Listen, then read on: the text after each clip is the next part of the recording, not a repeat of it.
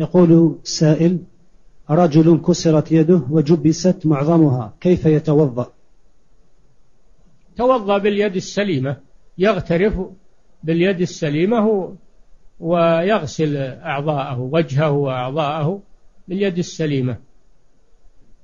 وأما الكسر الذي عليه جبيرة وعليه